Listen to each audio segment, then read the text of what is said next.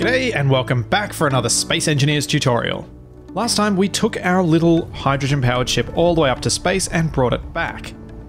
But there was something I would have liked to add to this which we couldn't add at the time, and that is a survival kit. Survival kits require medical components. Right now, the only medical components we have are in our survival kit on our base, and I don't know about you, but I'm not willing to take the risk of removing this and putting it in something that I might crash into the ground at high speed, given that if that happens, I have nowhere to respawn. The reason we can't build more medical components is that they require silver. They require 6.67 each, and right now we have no means to refine it. The basic refinery cannot refine silver. It also can't refine gold, uranium, or platinum. It can refine silicon, cobalt, nickel, stone, magnesium, and iron, but it can't do those remaining four. So we need a full sized refinery. And these things are pretty big. It's a 2 by 2 by 4 sized block. We've got a conveyor port on each side, which line up perfectly with each other, and then we've got one on the top and the bottom, which also line up in a straight line with each other. Then on the back of the refinery, you've got these eight smaller ports. These are not conveyor ports, these are upgrade module slots. And you have eight of them, so you can attach upgrade modules to increase your yield, your power efficiency, and the speed of the refinery. But we'll look into those later in this video. I'm going to place this in a little bit of an unusual spot. I'm going to place it underneath our conveyor port here. So lining up the conveyor ports like that. The reason for this is if I connected it up to our cargo container here, I would end up with stuff point, poking out to where this drill rig is currently, and I don't really want to do that just yet. The important thing with the placement of the refinery is that we've got our upgrade module ports available to us so that we can place the upgrade modules on them. So we need a one block space above each of them.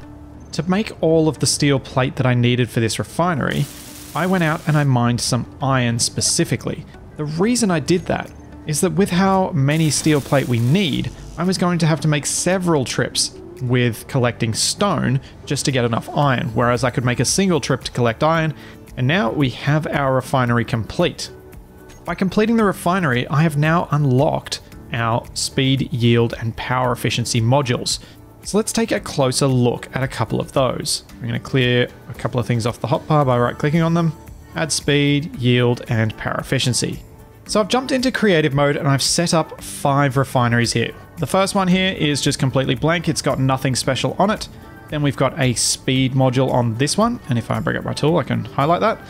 Then we've got a yield module on this one, a power efficiency module on this one, and lastly, a speed module that's half attached and half not. By going into the control panel of our first refinery, we can look at the basic statistics for the refinery. The maximum required power input is 560 kilowatts, and productivity, effectiveness, and power efficiency are all 100%. It also tells us that we've used 0 of 8 upgrade module slots. If we move down to our refinery with our speed module on, you'll see that we've doubled our maximum required power input from 560 kilowatts to 1.12 megawatts. We've also doubled our productivity. Effectively, what this speed module has done is created a situation where we've got the same results we would have from adding a second refinery, but without the same costs, as the speed module is much, much cheaper than another refinery. And we can continue to add speed modules to the back of this refinery to further enhance that effect. So if we have four of them, this little unit here is going to be as effective as five refineries without any upgrade modules. It'll also cost as much power as five refineries. So you can see productivity 500% and our maximum required input is 2.8 megawatts, which is 5 times 560 megawatt, uh, kilowatts. If we then move down to here where we've got our yield module on our refinery, these yield modules, they increase the amount of material you get from a certain amount of ore. So if we put 100 ore into this, 100 cobalt, we'll get a certain amount from this. If we go back to our original refinery and do the same, we can then compare the results. Our refinery with no upgrade modules on it produced 30 kilograms of cobalt ingots from the 100 kilograms of cobalt ore. But with our yield module on board, we've increased that yield to 35.68 kilograms. So we've gained an extra five and a bit kilos beyond what we got before. This can be quite handy if you're not in a rush to get your materials, or if you've got materials that you could only collect a certain amount of and it took you forever to get. And for this reason, yield modules tend to be my preferred modules to put onto my refineries. I'm not usually in too much of a hurry to get the materials, so speed modules become less of an issue. But there are times, especially when I'm collecting something from a long way away, where I don't want to have to go back there again. So if I can increase the amount I've gotten from what I collected, that's going to be a big benefit. The next upgrade module is our power efficiency module. This thing reduces the amount of power you need for your refinery. So instead of 560 kilowatts, we're now down to 374. And this is only slightly more than our basic refinery costs. I'd like to demonstrate a difference between the refinery and the basic refinery by breaking down some stone. So if I put 500 stone in here, we've just gotten 27 kilograms of iron from that. If I go over to my basic refinery, I get just 18.9 kilograms. I get even less if I use the survival kit. So if you have access to a full-sized refinery and you're drilling stone, it is advantageous to use this compared to your basic refinery. I was able to do that demonstration with the power efficiency module because it does not increase our effectiveness. If I'd put this in something with an extra yield module on it, I would have gotten even more again. Up until this point, I've put all of my upgrade modules directly onto the refinery with both of their upgrade slots. So if we look at the back of our speed module, you can see here there are two slots that line up to the two on the back of the refinery. But you can create a partial effect from an upgrade module by placing it like this. Nicely, each of these upgrade modules have little glowing lights to tell you whether they're on a block and functional, green, or whether they're completely built, powered, but not attached to an upgrade slot, which is yellow, or if they're just unpowered or not completely functional, they'll be red. When a block is like this, it's only on a single upgrade slot for the refinery. So in this case, we will get half the effect, as we can see here with a productivity of 150%, compared to a speed module that's covering two of the slots. A speed module crossing two like that will give you the exact same effect as these two speed modules on the top here. These two are covering two of the refinery's upgrade slots, and so is this one. So if we've got multiple refineries next to each other and for aesthetic reasons you want to vary the pattern between them, you can do this without having any negative effects. So as an example, something like this is completely effective. All of my upgrade modules are attached to the refineries and both refineries have all of their upgrade slots covered. What we've got is a collection of yield modules and then one speed module. So as I said before, I would really like to have yield modules attached to my refinery here. However, I can't do that yet. Yield modules, if we have a look at our components required, need superconductors. Superconductors need gold. And superconductors can also only be made from a fully fledged assembler. If we have a look at our production window from our basic assembler, we do not have superconductor components here. So I'm going to need to add an assembler to my base, and then I'll need to mine some gold so that I can make some superconductor components. I'm going to pop my assembler out here. The reason to do that is that, like the refinery, the assembler has upgrade module slots. There are eight of them that go along the long sides of the assembler. On each end, you have conveyor ports, and on two of the long sides, you also have conveyor ports. If you look carefully at these conveyor ports versus the one on the refinery to my left, you can see that there's a small square on the inside of it as well. That's because that area of the to the right of the assembler from the way we're looking at it at the moment is both a conveyor port and an upgrade module slot. So I'm going to place this on our refinery end like that. That'll give us access to everything we want so that we can put lots of upgrade modules on this assembler. When I'm building an assembler in survival, I will frequently repurpose the materials from my basic assembler and put them into my final assembler. The assembler takes pretty much twice the materials that the basic assembler does, but it also adds 10 metal grids. So if you've made 10 metal grids and you've made enough parts that you can break down your basic assembler, it's certainly worth your while considering it. In this case, so that I can demonstrate some more things, I'm going to build everything so that I've got both and we'll be able to show you the differences between the two. And there we go, assembler complete.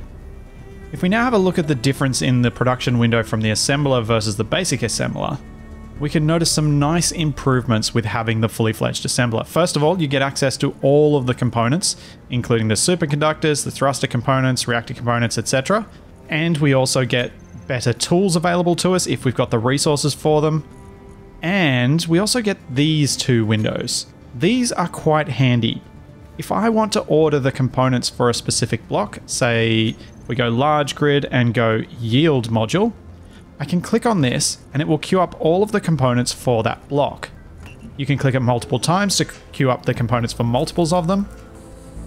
And that can be very, very useful to figure out what you need more of in order to build what you're planning.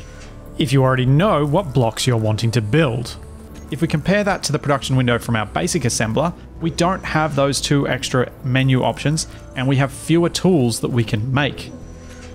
We look at our survival kit, there's even less again. So really, there's no reason to use the other two for building stuff. The assembler will be our best option and our easiest, our quickest, but it does require a little bit more power. So our assembler requires 560 kilowatts and our basic assembler requires 280. We could, if we needed to, attach some power efficiency modules to our assembler to reduce its power requirements. We can also add some speed modules to increase its speed further. You can't add yield modules, however. These do not work on assemblers. They do not produce any effect whatsoever. In fact, if I just quickly cheat and go into creative mode just to demonstrate this, if I put a yield module on our assembler and have a look in here, you'll say you'll see that it says yield module incompatible. If you're wondering how I got into creative mode so quickly, Alt F10, in the admin tools list, there's an enable creative mode tools checkbox. And we'll go back out of that now that I've deleted the yield module.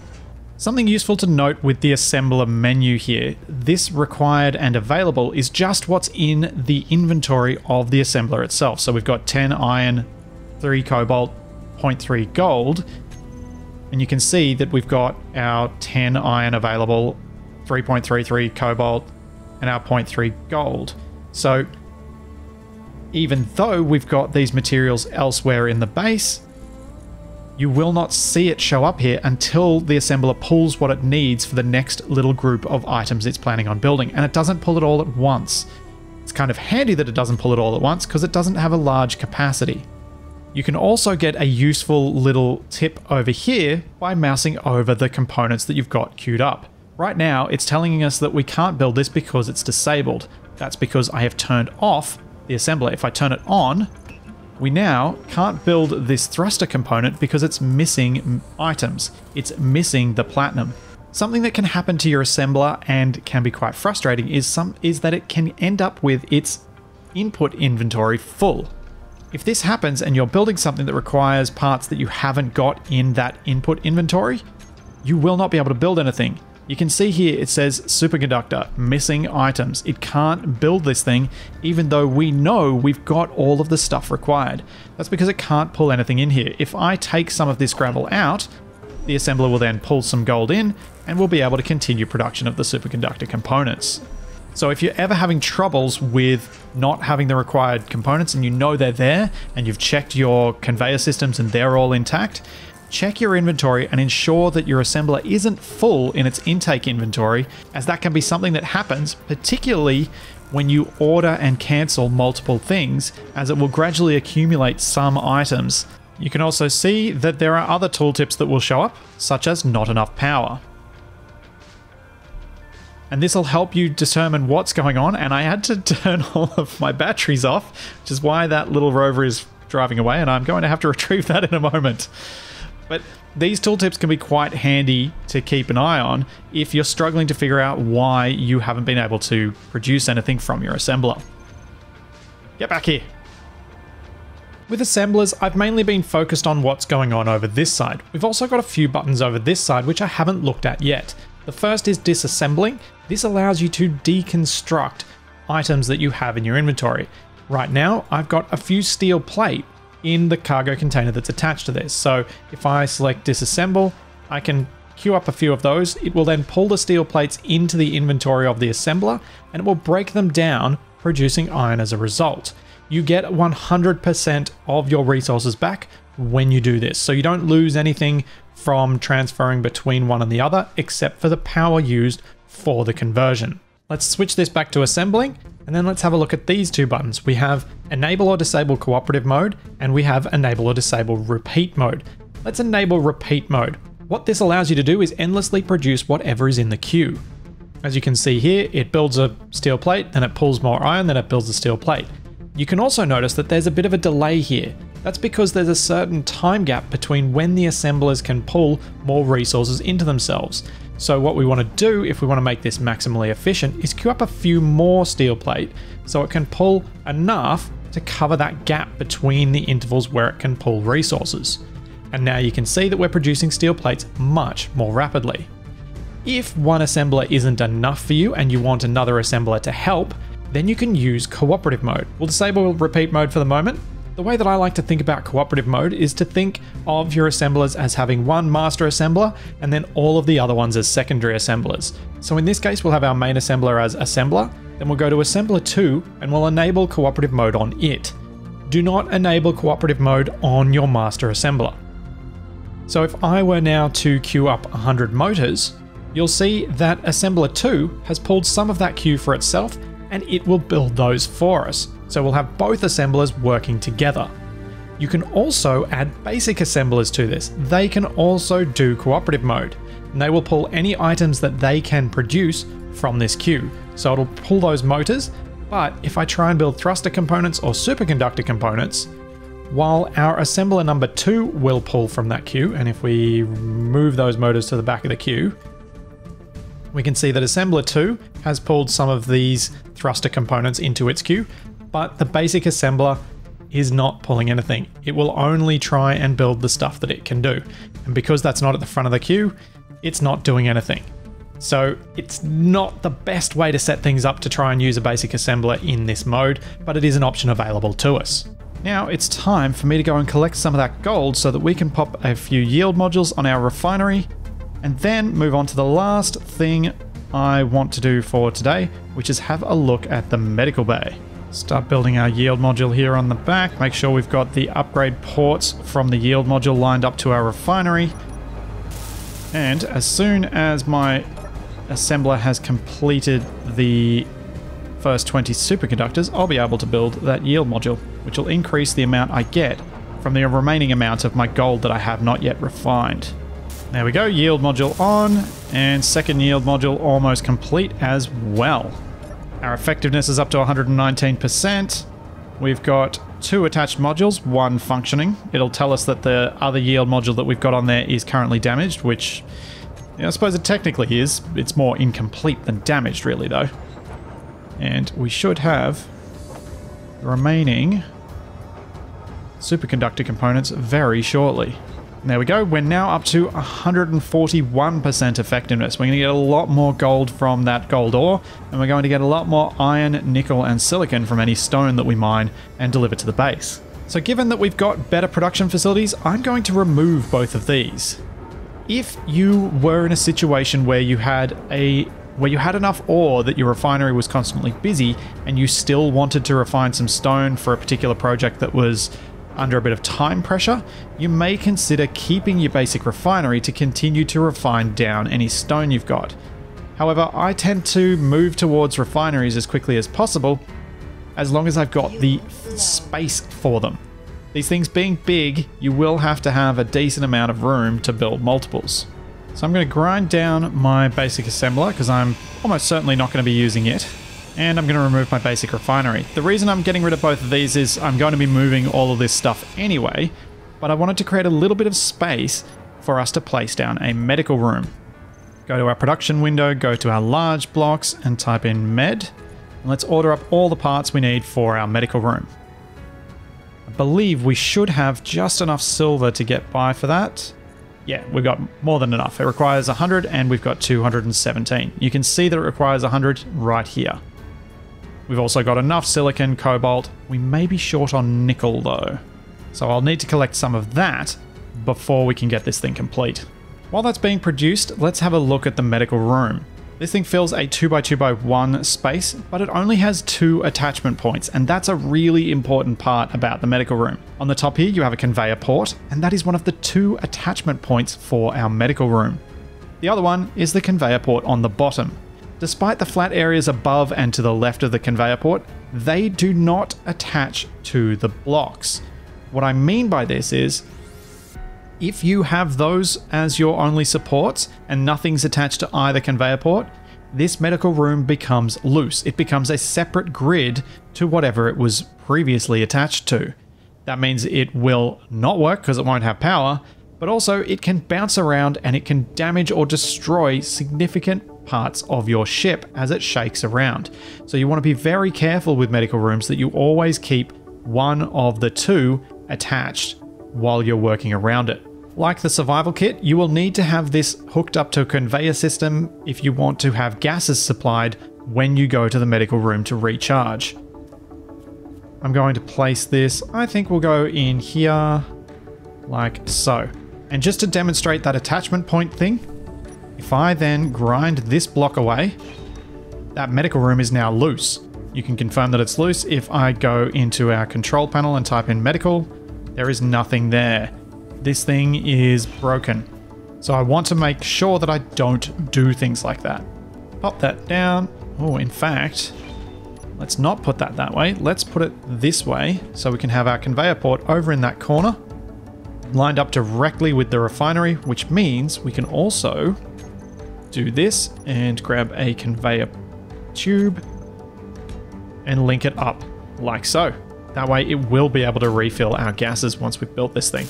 If I'm building something like this medical bay and I need to carry all of the components, and medical components are pretty big, I can only carry six of them, to the block and back to the cargo to, to back and forth, and I'm not as close as I am in this situation, there is a nice little trick you can use to make this work a little bit easier. For things like refineries, for hydrogen tanks, that sort of thing, the trips can be quite time consuming. So, if you've got a conveyor port that is hooked up to your cargo system and it's nearby the block that you're trying to build, what you can do, and I'm going to remove these temporarily, you can place a grid welder in that spot. So we've got welders, grinders, and drills. Let's grab a welder and have a look at this block. It's got conveyor ports on three sides, none on the other two. And then at the business end of things, we've got these two welding tips. If those are near enough to the block we're trying to weld, this thing will weld and transport all the materials to that block for us. So what I'm going to do is place this vertically here. That puts those tips right on our medical room. And we can then build this instead of building our medical room. And the nice thing about that is that even large grid welders don't require many components. In fact, they require so few that I can carry them all even with times 3 inventory. So I just grabbed a bunch of components and hopefully I got the right number, and I did. So I can build this welder in one go. I can then hop into the control panel for it and turn it on. It's now going to weld up that medical room with all of the components that are in this cargo container and in our assembler without me having to do anything. One thing to note though is don't get too close to the business end of a welder. It hurts. As you can see here, ow, very hurts, hurts a lot. so be careful around that. And when you're done with it, simply grind it down and you're good to go and move it somewhere else if you want to build up something big elsewhere. I'm also going to put down my conveyor tubes again and weld these up before we demonstrate the medical room. You might be wondering what's the point of building something that requires so many components when you've already got a survival kit that does all the same stuff. Well, the survival kit does do all the same stuff, but it does it really slowly. If you look carefully at my health and my power meter, when I go to the survival kit, I gain them both quite slowly. Gases do get filled very quickly, but the health and power is very slow. Each little chunk that I get from the survival kit is only 8 points. The medical room, however, does this much, much faster. As you can see, that only took two little goes and my power is full and my health went up much faster as well. So there is an advantage to having a medical room that is quite useful because I hate waiting to recharge. This recharging this quickly is so, so nice. There's another little thing that the medical room can do that the survival kit can't. I'm just going to give myself a little bit of a platform here to work from. Over here, you've got another spot you can interact with. If I press F on this, I can then customize my character with all of the different helmets, suits, gloves, boots that I've got that I've collected from Unknown Signals or bought off the Steam Marketplace or traded with friends or however you got hold of them. Like our veteran suit that I got from completing the Learning to Survive scenario.